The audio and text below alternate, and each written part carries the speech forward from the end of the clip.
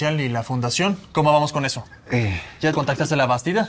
sí quedé en enviarle los últimos ajustes que solicitó, pero hay un pequeño detalle. Hoy quedé de verme con Ariana. Problemas. Eh, las cosas se pusieron un poquito tensas con lo del coche de Olga y quiero estar seguro de que todo quede bien entre nosotros. Tienes que ser claro con las dos, Alvarito. Con este proyecto en conjunto vas a pasar muchísimo tiempo con tu ex. Sí. Es más, te recuerdo que hoy al mediodía tenemos una junta con Olga para la propuesta de materiales. A esa hora no puedo, precisamente porque voy a ver a Ariadna. ¿Puedes ir solo? Claro que sí. Es que supongo que fue tan horrible lo que vivió que la dejó bloqueada. Y obviamente se entiende que le cuesta hablar de todo esto. Sí, güey, eso, eso explica cañón su actitud, ¿no? No es prejuicio, pero en ese antro hay gente que se mete de todo.